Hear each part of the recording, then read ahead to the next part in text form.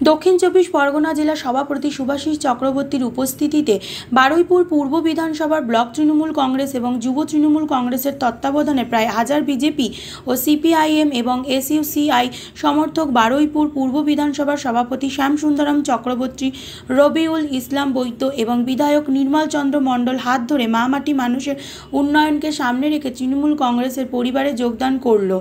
উক্ত অনুষ্ঠানে উপস্থিত ছিলেন বিজেপি পঞ্চায়েতের সমিতি মেম্বার এবং বেশ কিছু পঞ্চায়েতের মেম্বার।